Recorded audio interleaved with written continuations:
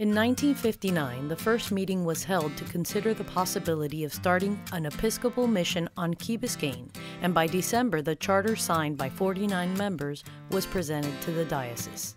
Soon after, the first service was held on Christmas Day 1959 in the Little Island Playhouse on a coconut plantation tract to a full house of 96 people. And it was appropriate that that very evening, the first baptized child at St. Christopher's by the Sea was young Christopher Prim. By February 1960, the generous Hardy Matheson offered an empty building to the budding mission for church use, and the members rolled up their sleeves and went to work, rebuilding the charming chapel in the woods. And so began St. Christopher's place in the vibrant island community of Key Biscayne, a commitment to the nurturing of the island youth always at the forefront. St. Christopher's presence was always noticed in many community events, and so for seven years the work of the founders kept moving forward as they started a building fund for the construction of a permanent home. The diocese purchased the land, and by 1967, the church on 95 Harbor Drive was erected, with an adjoining parish hall, which would also serve as one of the first Montessori schools in South Florida.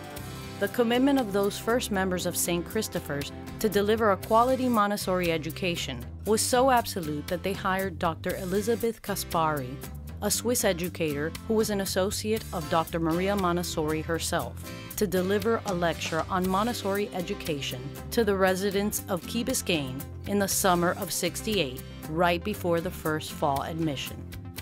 The 70s were a time of enjoyment and growth as St. Christopher's continued to encourage youth participation in field trips to familiar Key Biscayne hotspots. Life was fun and carefree, and St. Christopher's continued to be a home to many. As time went on, the need for additional space became obvious to the members of St. Christopher's, so another fundraising effort yielded the groundbreaking of the parish hall in 1982. Members who had been committed since the birth of the church continued to work, and the new hall was built, freeing up the old hall to be solely used as a preschool. 1992 brought the home destroyer known as Hurricane Andrew onto the shores of Key Biscayne with a whopping punch. No property, including St. Christopher's by the Sea, was spared, but St. Christopher's members rallied. Even as their own home sustained damage, they came to St. Christopher's and cleaned up the mess and kept on, moving forward. The rest of the 90s was laced with hope, prosperity, and growth.